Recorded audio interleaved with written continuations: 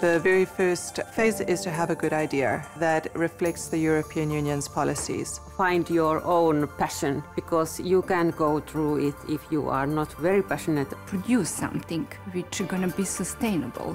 After you have a good idea, you need to find your partners. You can't uh, develop a good project without uh, good partners. When you have good partners, good friends around, it's much simpler because you can always ask for advice, you can always ask for some questions what is not clear for you. And many of the people think that this is more complicated than it uh, actually is. Once we found the partners together, we draft the project. You need to be straight to the point, have clear ideas of what you are going to do in the following months. It has to be simple, it has to be clear, it has to be effective, and it has to be coherent with the budget. Many are still afraid that it's a new uh, funding, uh, it's uh, bureaucratic and difficult. Where there is a difficulty, where there's a problem, there's always a solution. My advice would be to not be afraid of the EU bureaucracy. The projects always need to be innovative.